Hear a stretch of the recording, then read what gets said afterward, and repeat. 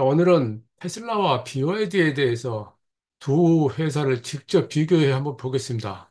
BYD가 테슬라하고 비교되기 시작한 것은 작년 말 BYD가 4분기 실적에서 테슬라를 앞서기 시작하면서부터 본격적으로 거론되고 있습니다만은 아직은 주식을 중심으로 하는 사람들 입장에서는 크게 받아들이지 않고 있는 그런 상황입니다. 어쨌든 두 회사가 어떤 차이가 있는지를 간략하게 좀 정리해 보겠습니다.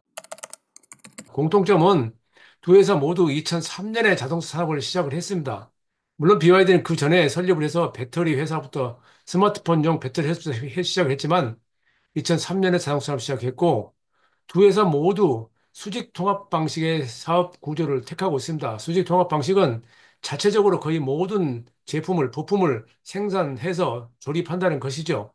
네, 자체적이라는 것은 이제 타이어하고 유리 빼고는 모두 다 한다 그런 개념이지만은 사실상 현실적으로 그게 쉽지는 않습니다. 다만 그런 방식으로 간다라는 그런 이 원칙을 세우고 있다는 얘기죠. 차이점은 테슬라는 배터리 전기차만 생산하고 BYD는 플러그인 하이브리드 생산한다라는 큰 차이가 있습니다. 이제 이렇게 말하면은 그 AI하고 뭐 자율주행 이야기는 어디 가느냐? 저는 이제 AI는 많은 사람 마치 그게 맞기는 맞는데 언제 그것이 구현되느냐 하는 것에 대해서는 논란이 많기 때문에 여기서는 자동차만 중심으로 이야기를 해보고자 합니다. 우선 좀 더 정리하면은 테슬라는 생산 기술 혁신에서 지금 자동차 산업을 주도하고 있죠. 네, Giga Press라는 용어를 많이 들어보셨겠죠? giga casting이라고 하고 그 hyper 현대 자동차의 hyper casting이라고 하는데 주물 금형을 통해서 큰 덩치의 차체 일부분을 금형을 통해서 한꺼번에 찍어낸다 그런 개념입니다. 그리고 소프트웨어 강화. 이제 이것은 2019년에 출시한 모델 3에서 약 100여 개에 달하는 ECU를 세 개를 통합해서 소프트웨어를 통해서 소프트웨어 정의 자동차를 가는 그런 방향성을 제시했다는 점에서 지금은 모든 자동차 회사들이 이를 따라하고 벤치마킹하고 그들만의 방식을 찾고 있습니다. 또 하나 이제 글로벌 시장을 확장을 좀 더 빨리 한다는 그런 개념인데 중국, 미국을 시작으로 중국, 독일에 이어서 아직은 해외 공장이 제대로 신축되지 못하고 있는 것이 있습니다만은 어쨌든 처음에 그들이 일론 머스크가 주장했던 것은 연간 2천만 대 생산이었습니다. 2천만 대 판매 생산이었습니다. 그런데 그것이 최근에 그 목표를 철회했죠. 그게 그렇게 쉽지 않다는 것을 깨달았다는 것이겠습니다. 그에 비해서 BYD는 20년간 누적 특허 출원 수가 테슬라의 16배 달합니다. 그리고 BYD는 배터리 관련 특허에 집중하고 있습니다. 지금 현 시점에서 본다면 무엇이 중요한지는 보는 사람 입장에서 다르겠지만은 주가를 중심으로 한다면 테슬라가 보이겠지만은요. 이제 자동차를 중심으로 한다면은 전기차를 중심으로 한다면은 BYD가 더 우위에 있을 수도 있다라고 평가하는 이도 있습니다. 그 배경에는 중국이 있습니다. 중국은 특허 출원이 1위입니다. 2011년 이후 세계 최대 특허 출원국입니다. 물론 이건 중국이 과거 영국에게 그들의 홍콩을 내주면서 힘을 잃었던 그 이전까지는 그때도 마찬가지로 특허는 세계 1위였습니다. 거의 모든 세계 발명품들 중국에서 나왔었습니다. 그리고 첨단 기술 측면에서도 44개 중 37개가 세계 1위다 하는 조사 결과가 또 나와 있죠.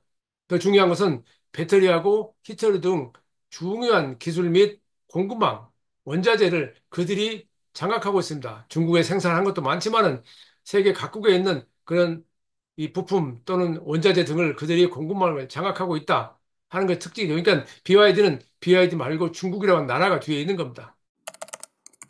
자, 좀 더 테슬라 데 집중해 보자면은 크게 이제 제가 가장 높게 평가했던 것은 에너지 회사로의 전환한다는 점이었습니다. 이게 자동차 회사 제조업체에서 벗어나서 에너지 대전환을 이룬다 하는 그들의 secret master plan이라고 하는 2006년에 내놓았던 일론 머스크가 내놨던 그 전략에서는 굉장히 높이 평가했었습니다.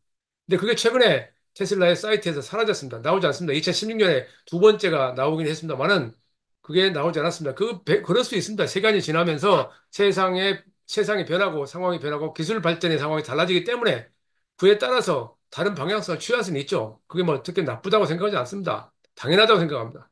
또 생산 기술 혁신에서는 이 아까 말씀드린 giga casting을 중심으로 한 unboxed process를 개발하고 있습니다. 그러니까 giga casting도 사실은 크게 따지면은 차체 앞쪽 또는 차체 뒤쪽을 하나의 그 주물로 금형으로 다 찍어낸다는 그런 개념인데 그걸 실제 그렇게 만들어 보니 문제가 있다는 것을 알게 됐고 그래서 그들은 차체를 여섯 등분해서 외부에서 별도로 조립해서 한꺼번에 쭉 집어넣으려 해서 조립한다. 이런 개념을 이제 작년에 저 발표하게 했는데 이게 아직 구체적인 답은 나오고 있지 않지만 이게 실현된다면은 굉장히 큰 비용 저감을 이뤄낼 수 있을 것이다 이렇게 보고 있습니다. 가장 이제 이 시대에 가장 그 중요하게 꼽히고 있는 게 소프트웨어 주도라는 점입니다. AI하고 소프트웨어 전기 자동차 선도하고 있죠. BYD는 이 테슬라를 벤치마킹하는 그 수준이긴 하지만 어쨌든 이 분야에서 어느 업체가 앞설지에 대해서는 아직까지 답이 없습니다. 뭐냐면 그것이 그렇게 간단한 문제가 아니고 자동차 회사만이 할 수 있는 것도 아니라는 얘기입니다. 근데 반도체 회사도 포함돼야 되고 소프트웨어 회사도 포함돼야 되고 그래서 그걸 모든 걸 다 자동차 회사가 한다. 글쎄요. 하게 되면은 비용 저감 측면이라든지 여러 가지 측면 이익이 있겠지만 그것을 했을 경우에 비용이 엄청나게 들어가 개발비가 들어간다는 점도 또한 이거 무시할 수 없는 내용이죠. 그래서 BYD는 어떻게 되냐? BYD는 기본적으로 자동차 산업 입지를 강화하는 데 지금은 힘을 쏟고 있습니다. 전기차 장 기술 축적이 가장 먼저고요. 우선 BYD는 아시다시피 도요타하고 벤- 테슬라를 벤치마킹해서 자동차를 만들어 온 회사입니다. 이제야 그건 지금은 이제 그걸 벗어났다고들 말을 하지만 어쨌든 그렇습니다. 그리고 BYD는 여전히 내연기관 엔진을 개발하고 있습니다. 물론 이건 내연기관 차를 위한 게 아니고요. 하이브리드 전기차에 쓰일 내연기관 차를 개발하는 겁니다. 일본도 지금 그래서 굉장히 강하게 어, 드라이브를 걸고 있죠. 또 BYD는 뭐 아시다시피 배터리 기술의 강점입니다. 특히 최근에 blade 배터리가 높은 시장 어, 점유율을 보이고 있고 또 전기차 분야에서 이 플랫폼 3.0까지 개발하면서 이제는 글로벌 자동차 회사들한테 더 이상 손을 벌리지 않아도 그들만의 자, 자체적인 자동차를 만들 수 있는 수준에 도달했습니다. 근데 지금 상황에서 전 세계 시장 상황을 잠깐 짚어보면 오른쪽 그림에서 보시다시피 2023년 4분기에 BYD가 52만 6천 대 정도를 팔면서 48만 4천 대 정도를 팔았던 테슬라를 제치고, 제치고 세계 1위로 올라섰습니다. 배터리 전기차만 해서요. 근데 그건 올해는 그것이 점점점 뭐 1분기에 그게 다 역전되긴 했습니다만은 올해 연말까지는 BYD가 배터리 전기차만으로도 테슬라를 제칠 수 있을 것이다라는 전망이 나오고 있습니다. 그런 데이터가 지금 뒷받침되고 있습니다. 어쨌든 그런 상황에서 지정학적 문제가 상당히 걸림돌로 작용되고 있죠. 그것은 테슬라도 마찬가지고 BYD도 마찬가지입니다. 미국 중 패권 경제라는 게 보호무역주의 너무 자주 거론된 이야기라서 제목만 짚고 넘어가겠습니다. 이 경제 상황도 중국의 부동산 침체가 중국 소비를 옥죄고 있습니다. 미국 경제 하락세도 지금 심각하죠. 미국은 이미 이 장단기 금리 차가 역전이 되면서 그 그동안 있어 왔던 이 경제 침체가 본격화됐다는 그런 전망들이 나오고 있습니다. 전기차 시장도 둔화되고 있습니다. 보조금이 중단되면서 판매 증가세가 둔화되고 있습니다. 판매가 증가되고 있는 건 맞습니다. 또 그러면서 중국 업체들이 시장을 뛰어들면서 전 세계 시장을 펼쳐나가면서 가격 경쟁이 심화되고 있습니다. 지금 이게 현실인데요. 최근에 이제 그런 상황에서 테슬라는 인원 감축, 올해 일어난 일이죠. 임원 이탈, 주요 개발 책임자들이 속속 빠져나갔습니다. 지난, 재지난주가도 또 한 사람이 또 나갔습니다. 여기에다가 일론 머스크 리스크가 여전히 가장 큰 위험 요소로 등장하고 있습니다. 일론 머스크는 인종차별이라든지 뭐 성차별 여러 가지 문제로 그 미국에서는 시끄럽습니다. 국내에서는 아주 그냥 찬양 일색이지만 미국에서는 일론 머스크의 그 personality에 대해서 많은 비판이 있습니다. 어쨌든 그것은 뭐 미국이란 사회 현상 때문에 그럴 수 있다고 그냥 넘어갔다고 치고요. 지금은 자동차 산업보다는 AI하고 자율주행에 가겠다라고 이야기를 하고 있습니다. 이게 제가 느낀 바로는 항상 그랬지만은 이런 이슈가 등장하면 가장 중요한 것은 그것을 이용하는 테- 애널- 애널리스트들입니다. 투자은행들입니다. AI가 작년에 챗 GTP4를 3를 시작으로 등장했을 때 많은 사람들이 AI가 마치 세상을 당장에 뒤집을 것처럼 떠들었지만은 AI가 우리가 가야 될 방향에 맞다. 그러나 그것이 언제, 얼마나에 대해서는 많은 지금 새로운 증- 시각의 의견이 등장하고 있죠. 6년 뒤가 될지 10년 뒤가 될지 모른다라는 얘기가 있고 10년 정도 지나야 GDP에 반영된다라는 이야기도 있습니다. 그 AI가 돼야 테슬라 입장에서 본다면 그들이 추구하는 자율주행이 구현될 수 있습니다. 올 10월 10일, 10일 날 로보택시를 발표한다고 하면서 거기에 자율주행 기술을 FSD를 채용한다고 하는데 글쎄요, 지금 그, 여러분들 많이 유튜브를 통해서 그 미국이나 중국에서 자율주행 로보택시에 를 사용하는 사람들의 반응, 또는 FSD를 채용한 테슬라를 운전하는 사람들 반응들을 보시겠지만은 그걸 그들이 하는 것 그대로 믿어서 안 된다는 것제 생각입니다. 근데 그, 누구든지 사실은 개인적으로 내가 어떤 제품을 사용했을 때는 내가 사용한 그 제품에 대해서 내 스스로에 대해서 그 평가를 하기 때문에 그 부정적인 시각을 내놓기 어렵습니다. 그래서 저는 여러 사람들의 유튜브를 찾아보는 그런 수고를 하지 않을, 할 수밖에 없는 상황인데요. 지금 상황은 어쨌든 그런 것을 더불어서 그런 것 다 채취하고 기술적으로 안전하지 않고 법적으로 허용되지 않고 안전성이 보장되지 않기 때문에 그걸 자율주행이라는 용어로 써서는 안 된다는 생각입니다. 어쨌든 본론으로 돌아가면은 BYD는 최근에 해외 공장을 확대하고 있습니다. 지난달에 7월 달에 태국 공장을 가동을 시작했고 헝가리 공장도 건설을 추진하고 있습니다. 그러니까 해외 시장으로 그들의 먹거리를 찾아 나선 겁니다.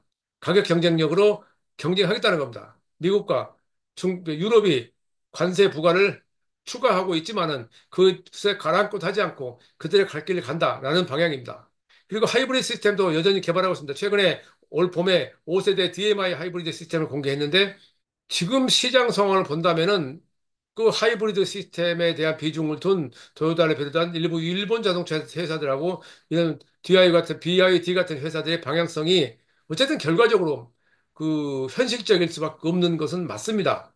이게 제가 말씀드렸듯이 기술은 시장을 이기지 못한다.